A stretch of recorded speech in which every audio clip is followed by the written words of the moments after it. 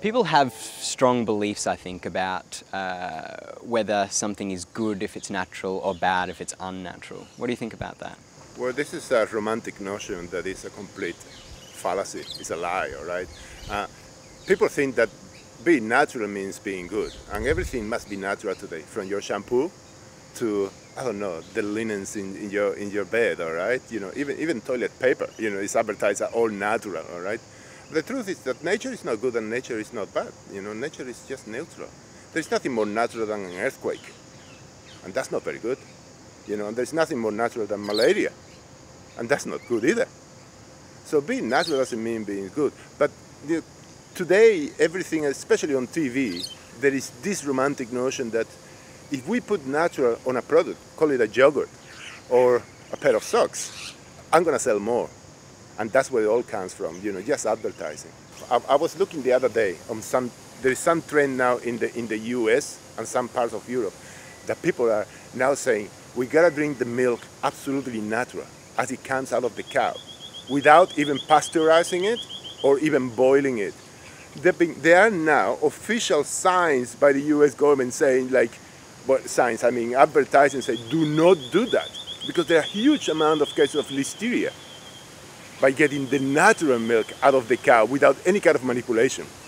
Just because of the concept of can be any better than just out of the cow, drink it. Thank you. So why do you think we uh, why do you think we have a propensity towards liking things that are natural? Because it sounds good and it looks good and it makes you feel good about it, all right? It's natural, so um, there's nothing artificial. It's like artificial things are bad, natural things good. But you know, artificial things like electricity is not that bad, and that's very artificial, all right? Artificial things like vaccines are not bad, and they are extremely artificial. But in general, you, you, you conceptuate like natural means good, artificial means bad. Nothing natural can harm me because it comes from Mother Nature.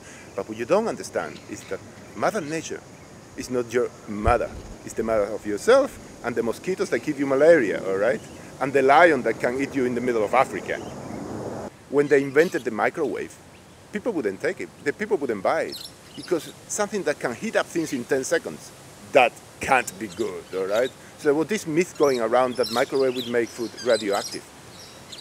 And people wouldn't buy it, and now there is a microwave in every house. So there is a, a tendency to resist innovation if you have a perceived risk. So what would you say to somebody uh, that says the risks for genetically modified food are just too high? Well, the risk is too high is a perception that uh, I don't find it justified by science and by facts. We've been growing GM food now for a long, long time, and there isn't any reports saying that there is any, any bad consequence for human health. Um, by the way, there are plenty of reports that normal foods, you know, end up in food poisoning. You know, I just heard today that uh, um, a couple of Australian cities have uh, died in, in Bali out of food poisoning, eating in a restaurant. There's no GM there involved, all right? So there is risk. In GM, in non-GM, there is risk in everything you do in life. When you cross the street, you run a risk, all right? But if you don't cross the street, you're stuck in a corner, all right? Like you're gonna go places, you're gonna have to cross the street every now and then. What you do if you think about the risk and the consequences and how to minimize the risk, and then you take a decision. When you're crossing a street, you look left, you look right, you know, and say, there's no cars, I can cross the street, all right? Or you look left and right, you see too many cars, say, I'd rather find another place to cross the street. So that's what you do, you minimize risk. With food, it's, it's the same thing. GM food, you know, as a matter of fact, the regulation is so strict that GM food are completely tested of everything and normal food are not. Therefore, the risk in GM food is a lot less than in normal, what they call normal food. That, by the way, there's no normal anymore.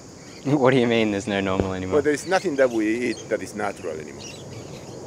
Food has been manipulated for thousands of years. Now, for our convenience, you know, so you can have bananas without seeds because bananas with seeds are not convenient for humans. Or you have food that is a lot more nutritious.